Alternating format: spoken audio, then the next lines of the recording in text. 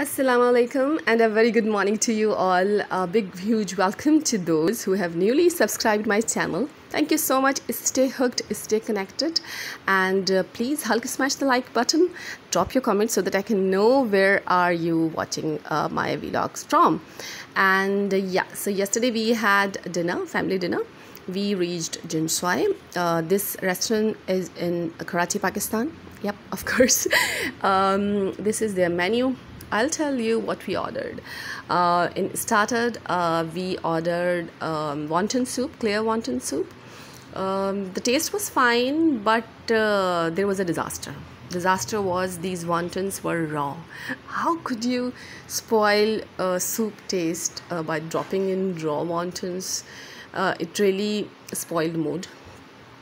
But anyways let's check out how um, there was chicken mince uh, filled in these wontons it had crunchy veggies um, but didn't feel actually good after having this soup. It was just okay. It used to be very very good but i don't know what is happening in almost every restaurant um, taste is changing. Probably they are trying to cut down expenses. Anyway uh, we ordered fries as well and these are mixed veg mixed vegetable uh, rice. It has uh, beef, shrimps, and chicken. It was good.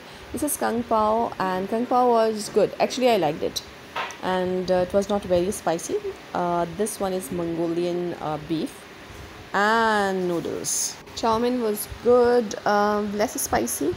Overall, I gave them five stars, but did drop a comment that they are compromising over taste and quality of the food. They should be careful about it. Bye bye.